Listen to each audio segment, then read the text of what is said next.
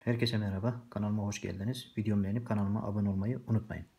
Evet arkadaşlar, bu dersimizde fiillerin olumsuz ve soru çekimi artı fiillerde anlam yani zaman kayması ile ilgili testler çözeceğim. Birinci soruyla başlayalım. Fiillerin olumsuz biçimleri, fiile kipeklerinden önce mame olumsuzluk ekinin, soru biçimleri ise fiillerden sonra mı, mi soru edatının getirilmesiyle yapılır. Buna göre konuşalım fiilinin olumsuz soru şekli aşağıdakilerden hangisidir? Şimdi konuşalım diyor. Olumsuzu nedir? Konuşmayalım. Soru şekline geldiğinde de konuşmayalım mı olur? Şıklara bakalım. Konuşmayalım mı? C şıkkında direkt cevabımız C şıkkı diyoruz. Aşağıdakilerin hangisinde fiilin olumsuzu yanlış verilmiştir? Şimdi mame ya da mazmezle yapacağız. Beğendin, beğenmedin. Doğru. Aramışsınız, aramamışsınız. Doğru. Ara, ayarlayacaklar, ayarlamayacaklar. Bakalım burada ayarlayamayacaklar derken buraya aradan fazladan y gelmiş, ya gelmiş. Yani ayarlamayacaklar yerine ayarlayamayacaklar olduğu için olumsuzu bu değildir. Koşacağım, koşmayacağım doğrudur. C şıkkında olumsuz yanlış verilmiştir. Üçüncü sorumuz söyle fiilinin emir kipi olumsuz ikinci çoğul şahıs çekimi aşağıdakilerden hangisidir diyor. Şimdi söyle emir kipi söyle zaten emir kipidir. Olumsuzu söyleme. İkinci çoğulda biz siz. Siz söylemeyiniz. Bakalım şıklara. Söylemeyiniz. Kim? Siz. İkinci çoğul olumsuzu söylemenin söylemeyiniz. Bu şekilde buluyoruz. Diğer bir sorumuz aşağıdakilerden hangisinde bu cümlede verilen bilgiye örnek bir kullanım yoktur. Fiillerde olumsuzluk fiillere getirilen mame ya da mazmes ekleriyle yapılır. Bakalım yeni eve taşındıklarından beri buraya pek gelmiyor. Burada e, yor ekinden dolayı daralma olduğu için e, gelme yor demiyoruz da gelmiyor diyoruz. Yani burada ma eki almış ama yor ekinden dolayı daralmış. Serhan Bey kalabalık ortamlarda çok konuşmaz derken burada mazek almış. Olumsuzluk eki. Akşama zeytinyağlı güzel bir dolma yapmalısın derken burada malimeli gereklilik anlamı katmış. Yani olumsuz anlamı yoktur. Cevabımız Ceyhan. Denizli'ye bakalım. Bilgisayarımın şifresini bir türlü hatırlayamadım derken buradaki ma2 olumsuz anlamı katmıştır. Altıncı sorumuz numaralanmış eşleştirmelerden hangileri yanlıştır? Gezdirsek mi? Olumlu soru. Doğru. İşitmeyelim mi? Olumsuz soru. Doğru. Bırakmayalım. Olumlu. Burada ma ekinden dolayı bu olumsuzdur. Yanlış. Başlamalıydın. Olumsuz değil. Olumlu olması lazım. Yani yanlış olan 3 ve 4 numaralı sözcüklerimiz bu şekilde yanlış olduğunu buluyoruz. Yeni sorumuz aşağıdakilerin hangisinde bu cümlede verilen bilgiyi örneklemektedir?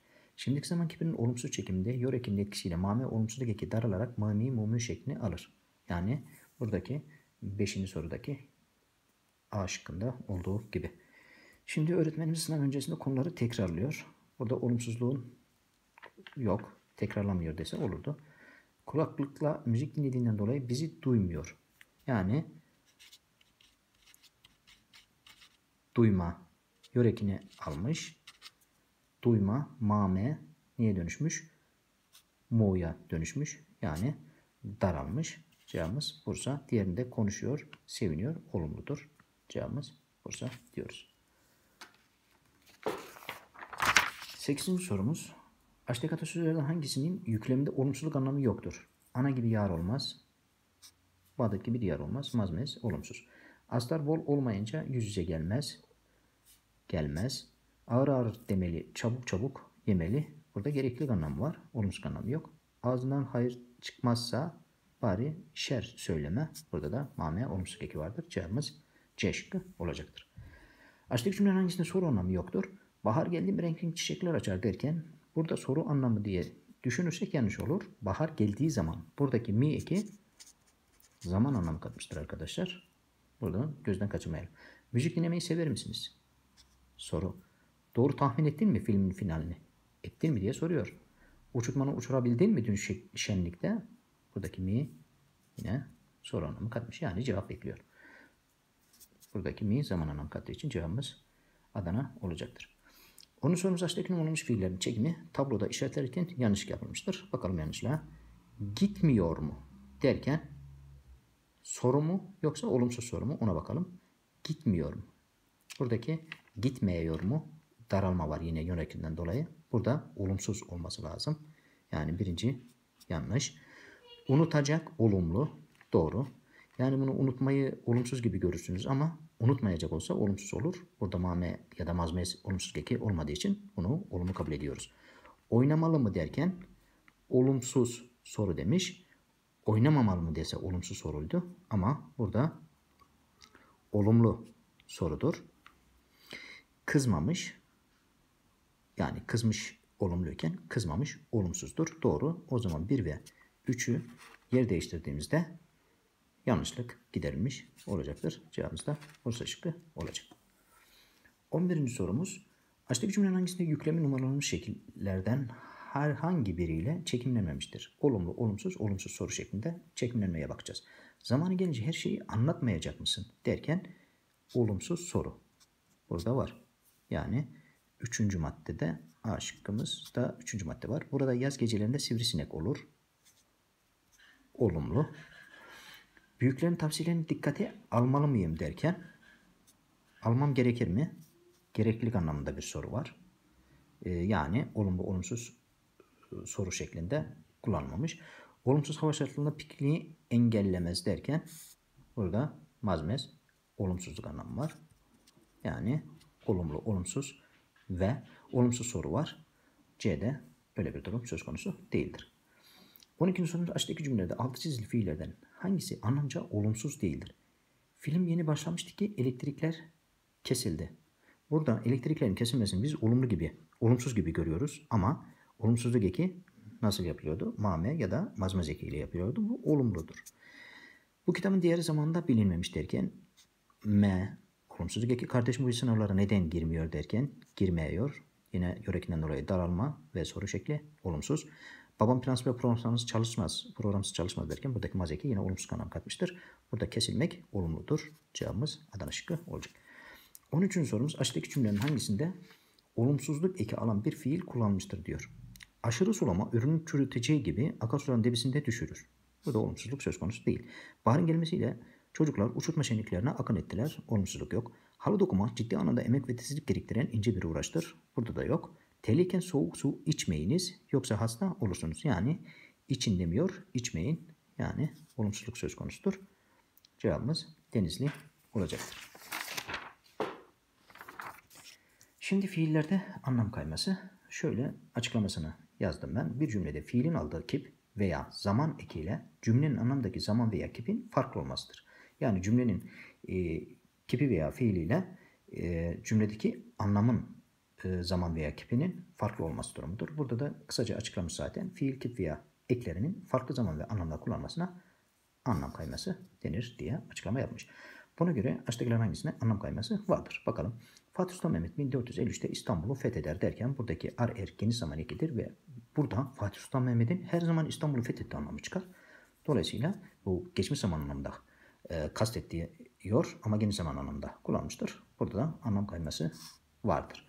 Diğerlerine bakalım. Sıcak havalarda çocuğun alnı boncuk boncuk terler. Evet sıcak havalarda geniş zaman. Hafta sonu dediği için gelecek zaman aca gelecek var. Parkta yürüyüş yapmakta olan insanları seyrediyorum. Yani şu an yapılan bir durum söz konusudur. Yöreki, şimdiki zaman ki doğrudur. İkinci sorumuz. Yüklemde verilen kip şimdiki zaman olacak. Kastedilen de geniş zaman olacak. Şimdi e, şimdiki zaman olana bakalım. Ediyor var. Geliyor var. Gelecek yıl ülkemizi Avrupa'da iki takım temsil ediyor derken gelecek yıl dediği için burada gelecek zaman anlam kastedilmiş ve şimdiki zaman anlamında kullanılmış. Cevabımız bu olamaz. Geniş zaman anlamı olması lazım. Bu kütüphanede insanın hep kitap okuyası gelir. Yani hep demesi e, sürekli kütüphaneye gittiğinde kitap okuması anlamında kullanılmış. Burada kastedilen geniş zaman anlamıdır. Cevabımız deniz olacak. Üçüncü sorumuz aşağıdaki cümlelerin hangisinde yapılmakta olan bir eylem söz konusudur. Yani şu an yapılıyor. Odasına sınava hazırlanıyor. Yani şu an hazırlanıyor. Diğerine bakalım. Teyzem İstanbul'a yarın gidiyor derken burada anlam kayması vardır. Yarın dediği için bu gelecek zaman anlamındadır. Sabahları bir bardak süt içiyor derken burada her sabah anlamındadır. E, geniş zaman anlamı katıyor. Bu parktan her vakit geliyoruz derken her vakit demesi burada geniş zaman anlamı katıyor. Dolayısıyla odasına sınavı hazırlanıyor. Yapılmakta olan bir eylem söz konusudur. Cevabımız Adana olacak. Diğer bir sorumuz Türk milleti Mustafa Kemal Atatürk soyadını verir. Yani vermiş dese anlam kayması olmayacak. Verir dediği için geniş zaman anlamında kullanılmış ve kastedilen e, geçmiş zaman. Bakalım geniş zaman kastedilen geçmiş zaman. Evet cevabımız bu olacak. Annem her akşam bize güzel yemekler bu cümlede aşağıdakilerin hangisiyle tamamlanırsa anlam kayması oluşmaz. Her akşam dediği için geniş zaman kullanması lazım. Hazırlar olur. Evet. Şıkkımızda da bakalım hazırlar B şıkkında. Hazırlıyor. Şimdiki zaman her akşam dediği için uyuşmaz. Hazırlayacak gelecek zaman. Her hazırlasa olmaz. Aşağıdaki cümlenin hangisinde şimdiki zaman gibi gelecek zaman anlamda kullanılmıştır? Bakalım. Ee, şimdiki zaman olacak. Götürüyor ve dönüyor. Şimdiki zaman anlamında kullanılmış. Patron işçileri her ay yemeğe götürür. Geniş zaman anlamında kullanılmış. Biz gelecek anlam, gelecek zaman anlamını bulacağız. Yarın dediği için gelecek zaman anlamı ilk uçakla Türkiye'ye dönüyoruz değil döneceğiz olacak. Yani cevabımız Adana şıkkı olacaktır. Aşağıdaki cümlenin hangisinde anlam kayması yoktur diyor. Yolunuz açık olsun inşallah diyor. Burada ola yani istek anlamda kullanılmış ama olsun diye emir anlamında kullandığı için anlam kayması var. Yaşlar ve hastalara yer verin. Burada herhangi bir e, anlam kayması yok. Her gün düzenli olarak spor yapıyor derken bu geniş zamanında kullanılmış ama e, fiili şimdiki zaman anlamında verilmiş. Kendi konuşmayı keselim. E, yani istek anlamında değil de kesin emir anlamındayken istek anlamda kullanmıştır. Anlam kayması var. B şıkkında yok diyoruz. Evet gelelim 8. sorumuza. Aşağıdaki dizelerin hangisinde anlam kayması meydana gelmiştir? Şıkları incelediğimizde biraz sonra bir damla huzur içimi baştan sona kaplıyor değil. Biraz sonra dediği için kaplıyor diyemeyiz. Kaplayacak yani gelecek zaman anlamında kullanıldığı için geniş zaman e, yani şimdiki zaman değil gelecek zamanda kullanıldığı için anlam kayması meydana gelmiştir. Diğer bir sorumuz bazı durumlarda bildirme kipiyle çekilmemiş bir fiil dilek, dilek kipi anlamı kadar. Aslında e, cümlelerin hangisinde böyle bir açıklama vardır diyor. Akşam yemeğini terasta yersiniz derken burada e, istek kipi yani o da dilek kipi anlamındadır. Cevabımız direkt Adana diyoruz. Yarınki seminere Milli Eğitim Bakanı katılıyor. Şimdi yarın dediği için şimdi yapılan bir anlamı ifade ettiği için yoreki şimdiki zaman yarın gelecek zaman olması lazım. Yani şimdiki zaman gibi gelecek zaman anlamında kullanmıştır. Cevabımız A şıkkı olacaktır. Diğer bir sorumuz aşağıdaki anlam, e, aşağıda anlam kaymasına uğramış cümleler ve kastedilen anlamlar verilmiştir. Buna göre kaç numaralı cümlenin kastedilen anlamı yanlıştır. Önümüzdeki hafta haftalar şey, havalar ısınıyor. Önümüzdeki hafta için gelecekten bahsetmiş. Doğru. Kellon'un yolu bir gün saraya düşer. Geçmiş zaman. Düşmüş anlamda kullanmış. Doğru. Sabahları erken kalkıyorum. Yani her sabah anlamda olduğu için geniş zaman olması lazım. 3 yanlış. Tabandaki yemeği bitireceksin. Emir. Doğru. Dolayısıyla cevabımız C şıkkı olacak. Aşağıdaki cümle hangisinde gelecek zamana gibi gereklilik kipi anlamında kullanılmıştır? Ee, havalar ısınca herkes denize akın edecek gelecek zaman. Bu kırmızı bisiklet babası almış olacak. Yani gelecekte almamış, almış ama e, babası almış olmalı anlamında gereklilik kipidir. Haftaya yeni okuluna başlayacak gelecek zaman zamanla tüm yaşadıklarını unutacak gelecek zaman. Dolayısıyla cevabımız Bursa şıkkı olacaktır. Ve son sorumuz bu şiirde alt çizili fiilde kastedilen anlam aşağıdakilerden hangisidir? Silmek istersem içimde ne zaman bir sızıyı, açıyor koyunu kardeş gibi karşımda bir kıyı. Derken burada ne zaman bir e, sızıyı silmek istersem içinden diyor. Yani bu geniş zaman anlamı kattığı için e, açıyor, açar olmalı. Yani kastedilen geniş zaman anlamı olmalı.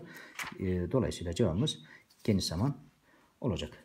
Evet testimiz e, bu kadardı. E, Zeki Öğretmen kanalını beğenip abone olmayı ve yorum yapmayı unutmuyoruz arkadaşlar. Hepinize şimdiden kolay gelsin.